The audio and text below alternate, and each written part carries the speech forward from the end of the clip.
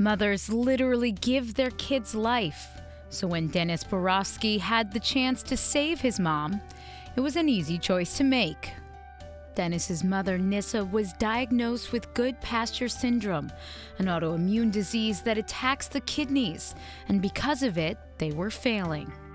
After finding out he wasn't a match for a kidney donation, the 27 year old Michigan man was determined to find another way to help her, so he participated in a kidney swap. Dennis would give a kidney to a stranger, and in return, his mother would get a kidney from one of their relatives. The surgeries were an incredible success, and after Nisa went into her son's hospital room to call him her hero.